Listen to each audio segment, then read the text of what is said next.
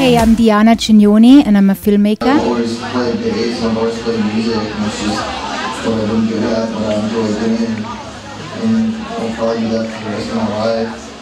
And I love drama. I love filmmakers like Gus Van Sant, Werner Herzog from Germany.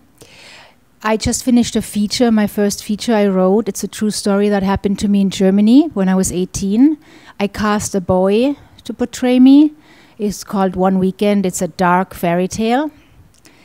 And it's going to the festivals now. It was already in two, take, making the rounds in Europe right now.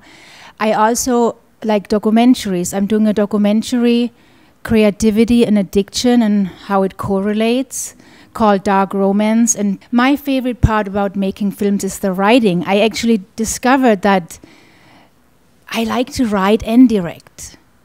It's hard. I mean, if there's a good script coming my way, I would direct it, of course. But I think my the way I'm moving is I'm writing my own stories and I'm going to make them into films.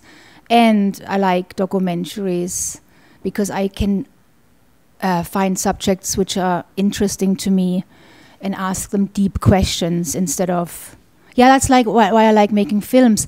You really you go you go connect to a person on a deep level and you really try to make something important which gives maybe a good message across or inspires people so we can have a better world not that mundane boring world out there so the last one I had, like right now I'm in New 140, I was in LA, before I was in this band called Shake, and you know, it kind of the same type of style, but uh, that, that band kind of was messed up at first too a little bit uh, on my part, along with other people's parts, but, but we got along.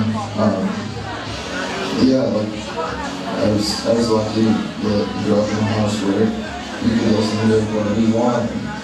I never really realized a lot. I see it go um, to festivals. I don't think really Hollywood, like, oh, my goal is to work on a TV show and be a director there. I like to have my films in, in, in very good festivals. I submitted one weekend to five festivals in London, which I'm really excited to maybe to hear about one. I like to go to Europe a little bit more and make a combination between Los Angeles, New York, London, and Germany. I like to travel. I like adventure. I, I like that with my films as well. So I kind of like to be independent and free, and hopefully the money will rain on me. Yeah, so we can keep making films.